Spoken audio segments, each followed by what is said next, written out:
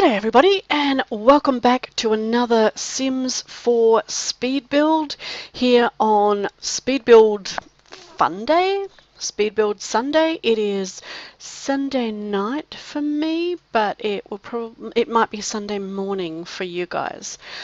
Anyway, today I thought we'd do another something fairy tale-ish. So it's not exactly fairy tale. Um, I don't know how many of you are fans of Lord of the Rings. I'm a huge fan. I read The Hobbit when I was in high school, which is a bit of a long time ago. And since then, I have been obsessed. And today, I'm building for you a hobbit hole. Now, um, in Lord of the Rings, in, in the Tolkien um, stories, the hobbit holes were extensive underground, you know, almost rabbit warrens. And I can't do that for you. I can't, I mean, maybe on a 64 by 64 lot, but what I've um, got today is not that big. It is a, um, a budget hobbit hole. Um, I think it ends up being three bedroom, three bathroom.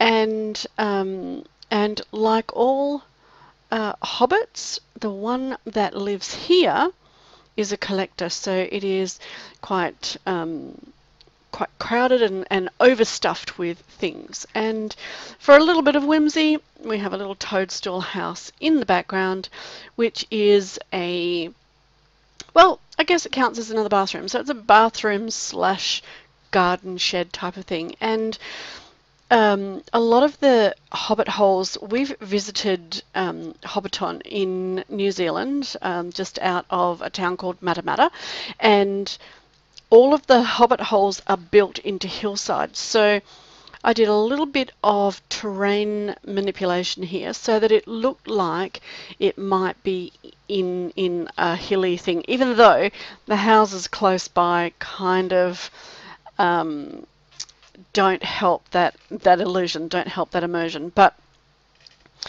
um, this, we needed to hide the tin shack. So here's my solution. This is one of the reeds that you would put, yeah, sorry, I forgot, to, oh, always forget to put move objects on. I'm a shocker.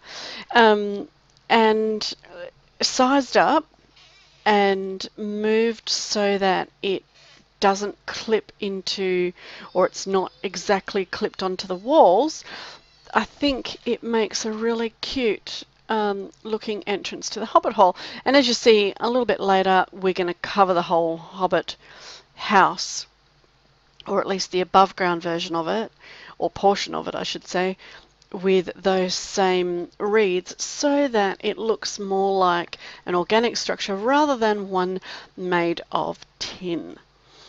Um, in the books, the hobbit holes are dug uh, are dug out from you know the door inwards, and they expand according to the owner's needs. So. Uh, a, family of hobbits with a large number of children is likely to have a large hobbit hole, um, and also those that are wealthier that have more air quotes stuff is also going to have a larger hobbit hole because they need places to store them. So, um, and I have to apologize for the noise in the background. I have a recalcitrant toddler who's refusing to nap.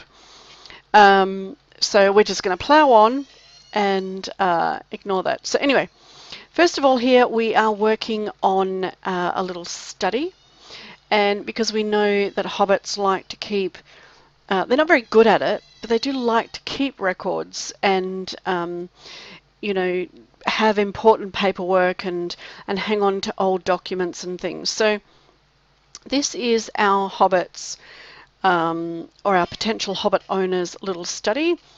Uh, this whole thing has been player tested too. So yes, you are able to get to that chair behind that desk from both sides. Um, uh, quite easily. So as you can see, this hobbit, he, he, she, they, whatever, has made a point of collecting lots of things.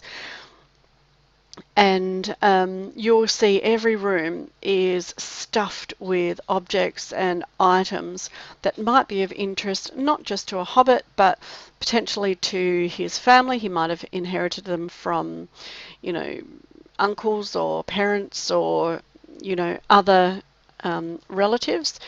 And um, this external living room, I went through a couple of ideas and you'll see I think I changed those again. Yep. Um, we want something, there we go, I think we go with those ones, um, that looks like it might be perhaps a touch medieval, uh, perhaps a touch old-fashioned, uh, and also our hobbit, or at least the hobbit that I had in mind for this house, uh, is interested in bringing green things from the outside to the inside. So you will see a lot of perhaps unusually placed uh, plants to complement um, the decor in his particular room or her particular room that they might be in. So you can see um, that uh, this hobbit has lots of things, lots of stuff, um, and it's entirely likely that a lot of that stuff and a number of those things are going to be, you know, an inch deep in dust because they collect them but they don't really do anything with them.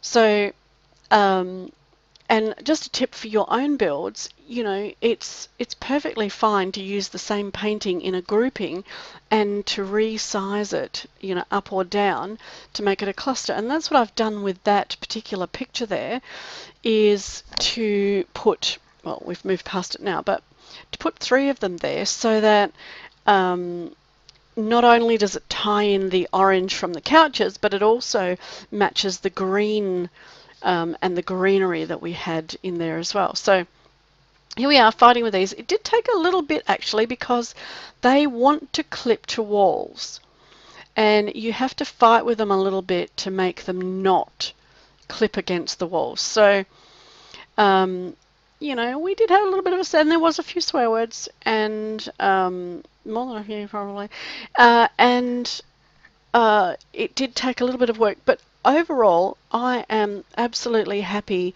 with the way those those upsized reeds look uh, as part of the roof, and you will see it at the end anyway. So just working on the landscaping, and because I'm imagining that it is um, the hobbits live in the countryside. Even though they have a little village called Hobbiton, um, it is uh, a little bit spread out. The houses aren't packed on top of each other, and there is a lot of farming land and a lot of lushness in between. Now, I don't know if any of you have been to New Zealand, but it is very mountainous. And here is a pause for effect, obviously, so you can see the front. It is um, very, very green, and the area where um, the, the, the property where the uh, the Hobbiton, the Hobbit holes are all built, is actually farmland. I do not know why this was paused for so long. Um, clearly, I must have wandered off to get a drink, or to yell at someone, or you know to check Facebook you know, so you'll probably be relieved that I was satisfied with all of that and now I'm back. So as I said, we turn this into a little um, bathroom. So in fact, we have maybe four bathrooms. Um, but again, it's it more feels like a toilet that's been built into a garden shed because lots of the items in here you'd probably expect to find, you know, uh, outside. I think it is absolutely cute. I love the little um, mushroom house. Um, I think it's a, a, cute little feature. There is room to expand if you want to go um, add rooms on underground. There is plenty of room. So here we are on our first level below um, the the the above ground and we're working on our kitchen now so hobbits hobbitses loves their foods. So a kitchen would be very important to a hobbit. So I imagine that their kitchens would be overstuffed with not just um, plates and pots and pans, but with things to cook. Um, and uh, I think they would be, oh my gosh, there goes Discord, um, going off in my ear as we speak. Um, I'm hoping that will um, Oh, goodness me. There's a lesson for you. If you're doing a video, turn everything to silent or log out. Um, so I wanted the appearance, and I, see, I did originally go with cupboards or cupboards or the wall cabinets around the top, but I've gone back to shelves because I wanted to show that hobbits are likely to have an overstuffed kitchen they have containers of all kinds of foods. They have all kinds of things, packets and bottles and cans of things tucked away, not to mention all of the decorative items that they could possibly have. So, um, yeah, I absolutely stuff this. And even though there's, oh, um, sometimes when I'm building, I discover something that I think, oh, that should really go outside. So I stick it outside while I'm building, or it should go in another room, so I stick it over there. So uh, I apologize for the camera flicking around like that. And as you can see, I just changed the colors of the jars after I've placed them where I want them. Um, and I'll do that again in just a second up there. So um, you can imagine that a hobbit that has this kitchen um, would absolutely be spending as much time as possible making not just their breakfast and their lunch and their dinner, but you can't forget Elevenses, you can't forget second breakfast, and you certainly can't forget early and late dinner as well as supper. I have it on good authority though that that's only when they're dieting.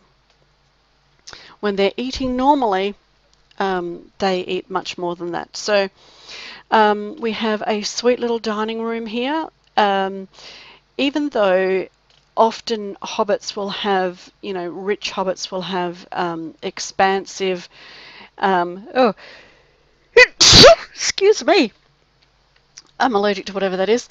Um, they might have large and very formal dining areas. This hobbit, I think, I've gone for a much more homey feel and they kind of like their um, their dining to be close to their kitchen so they can go back for seconds or thirds or tenths if they need to. Um, and again, we've bought some some of the plants from the outside in, and I think I change out some of these. Um, there you go. More things and documents stuffed under the the stairs uh, and um, you know a little reading nook perhaps somewhere to just sit and read a magazine or a book while you're waiting for somebody to cook dinner or maybe for dinner itself to be cooked if you're doing the cooking. And this will be the first of the bedrooms. And again overstuffed lots of things that they have in there um, I really had a lot of fun building this. I think it's really cute. I would love to see a Let's Play based around this. I think it would be really, really um, fun and cute and interesting. So if you do use this in your game or if you start a Let's Play um, using this, I would love to hear from you. Um, tell me what you did. Tell me about the Sims that you have living in here because I would absolutely love to hear about it you can leave your comments in the down there or hit me up on Twitter or on Instagram, which I'm not very active on. Um, or if you like to join the fun, um, my link to my Discord is down there as well. All right, so we are building a bathroom and I think um, using the stuff from Island Living kind of fit the more rustic feel um, of this house, even though it's not, you know, it's got wallpaper and um, the the wall paneling on it. Um, I think it it has a more a feel of it that's less formal, because I can't imagine a hobbit um, being, you know, a hobbit room or a hobbit hole or a hobbit bathroom being formal. So, but we we have I have continued to use that wallpaper just because I think it adds to the overall feel of you know something a little bit on the the elderly side, something that um, has a bit of history. And it was a bit of a struggle, but I did eventually get these curtains to go where I wanted. Um, I think I had a bit of a pause to have a bit of a swear, thought about it, put a wall in, put the curtains across, and I think that's really cute.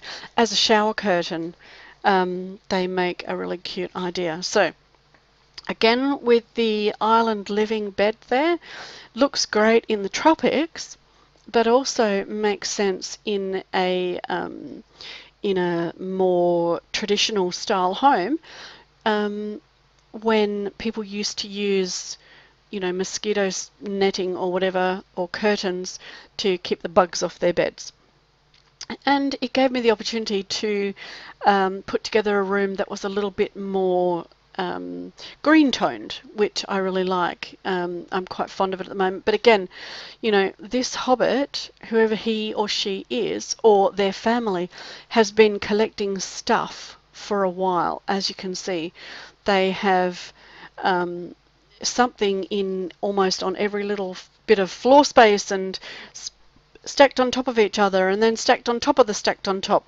So um, you know, I, I really had a lot of fun doing this, thinking about um, a hobbit, which they're not magical in and of themselves, but they're, they're kind of magical beings, and you know, um, they they associate with magical beings. So I would imagine that they would have um, an interest in um, all things magical, but just like um, poor old Bilbo did, he would try and stay away from that side of those type of people as much as possible, while still, you know, having items tucked away that might, you know, um, might be considered magical or from magical origins.